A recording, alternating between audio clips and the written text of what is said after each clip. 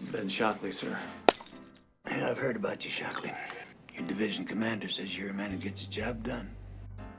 You're flying to Las Vegas, coming back with a prisoner for us. You represent the Phoenix PD. Get a shave. I've got extradition papers for one Gus Mount. Augustine O'Malley I got over in women's detention.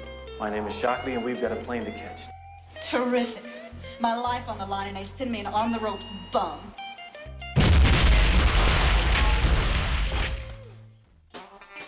It seems somebody doesn't want your nothing witness to testify at your nothing trial.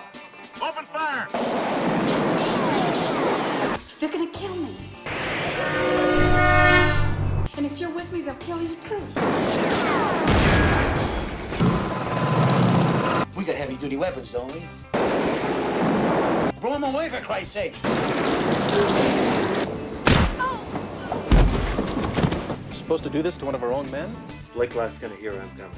This is crazy. The good guys and the bad guys. I make the decisions. What the hell you think you're doing?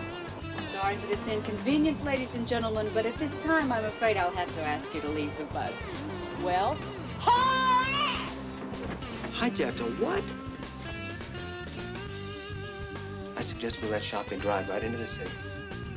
We'd appear justified getting him that way. He'd be a feather in our caps. He won't have a chance. Commence firing.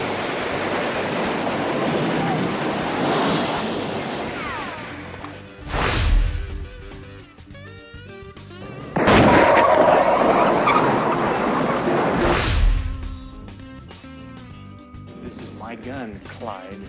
Thank you.